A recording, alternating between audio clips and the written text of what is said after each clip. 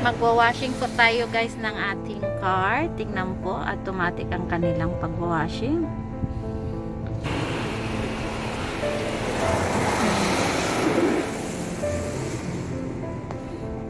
Nakakatuwa ang pag-washing nila dito guys.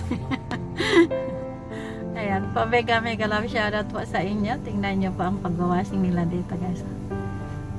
Machine. Ang galing no? Ayan, no? tingnan nyo. Kaya pag-washing nila guys, nakakatuwa. Ayan sa taas. nakakatuwa yung pag-ano nila, yung automatic lahat. Tingnan yung machine guys. High-tech ang kanilang pag-ano talaga. ang pag-washing. Super high-tech. nakakatuwa. Nung una, nagugulat pa ako ganda talaga ng ano dito talaga. Puro mga ano. Automatic na talaga lahat ang pag-ano nila. Nagsasabuan. Sa susunod na yan iro-robot na yan lahat. Ayan tingnan nyo po guys mag-aanlaw na. Ang ganda diba oh ang cute ng ano, oh, tignan. Wala talaga super. Believe ka talaga sa ano nila, no? Oh! Ako'y natutuwa para ba akong binabagyo dito sa loob. ang galing. Tingnan nyo, hanggang doon sa likod, oh. Nandiyan na sila sa taas po paano na sila sa taas doon sa likod? Ang galing ano?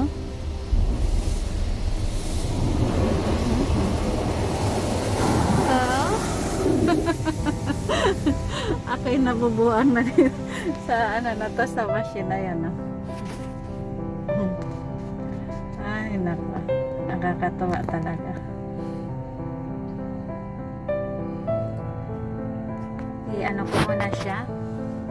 Papaklining kasi ilang days nakatambay so ang alikabok ay ayan mag spray siya uli. Masyadong ano tong tuwang tuwa po tuwang tuwa ang nagpapalinis eh. Ako ang natutuwa sa ano talaga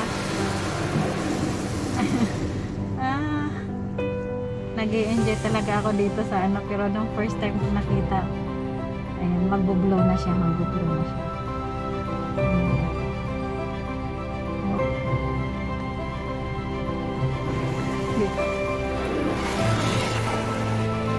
Galing no? Mega mega love shoutout po sa inyo dyan guys. Mega mega love shoutout. Ayan. Oh, ayan na naman siya Hello! Ay, nag enjoy tong babae nandito sa ano. Ayan, ibuglo.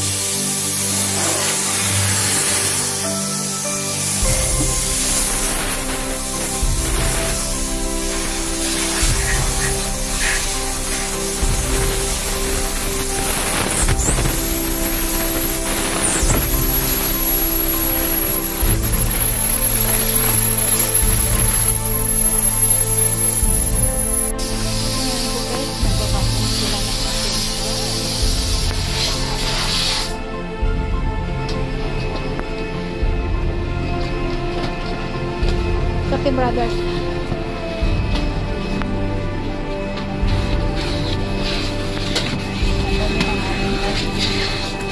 Brother, it is five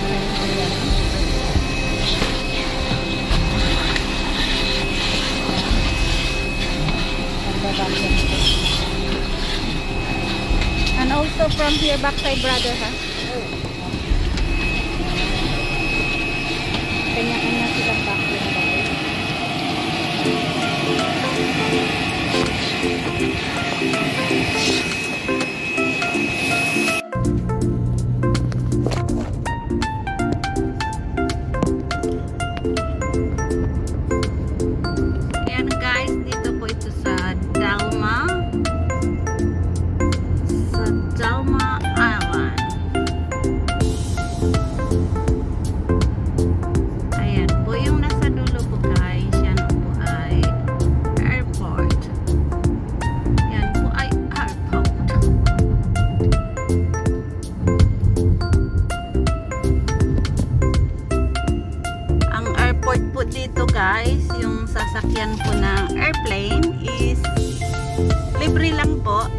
government. Ayan, pero inuuna po muna nila ang mga lokal bago po ang mga expat. Ayan, from government po yan guys. Libre po yan. Tapos dito sa kabilang side, mayroon po tayong port po dyan. May barko. Mura lang naman siya. 20 dirhams per head. Hanggang 10 years old, wala po siyang bayad. Pataas, may bayad na po siyang 20. Yan lang po dito guys. Simple lang po ang buhay ng Jalma Island. Ayan yung mga tao, kawawa super hot hot pero kailangan mag-work ayan sila alam mo naman yung mga lahi na yan hindi naman yan sila umiingga sa init Pilipino po yan guys. Ay ay ay masira ang aking sunblock. Ayan po. Hindi tayo pwede dyan. Sasabihin na nako ang aking ano, ang aking skin. Masira. Ayan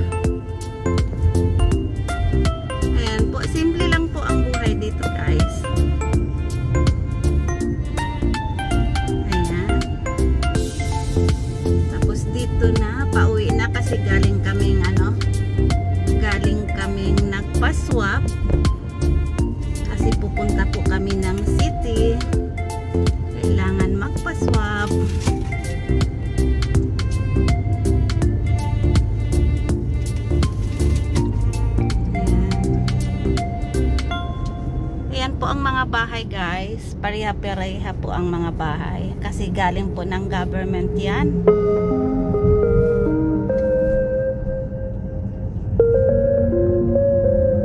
Ayan po. Naka-uniform lahat ng bahay. Tapos dito sa kabilang side, sa right side guys, dito po ang nursery. Tapos dyan po ang high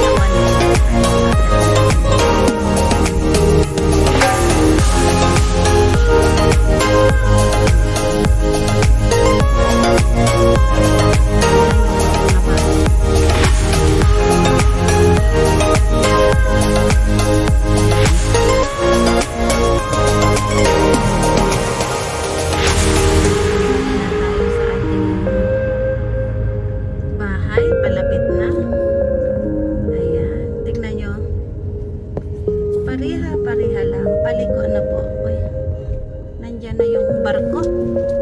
Dumating na siya. Kailan yan? Kagabi?